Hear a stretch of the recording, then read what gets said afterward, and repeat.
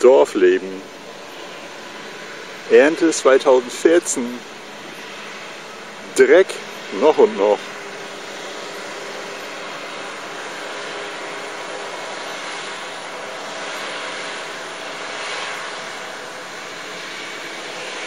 Das sieht aus. Also.